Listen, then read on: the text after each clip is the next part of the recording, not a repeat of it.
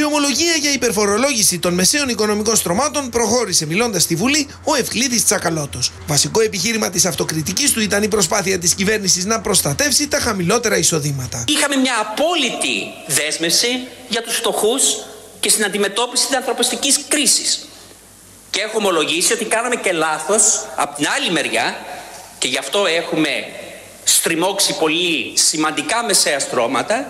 Κάναμε λάθος στην πρόβλεψή μας πόσο γρήγορα μπορεί να αντιμετωπίσει το θέμα της φοροδιαφυγής και της διαφθοράς και άρα έπεσε το βάρος σε κάποια μεσαία στρώματα.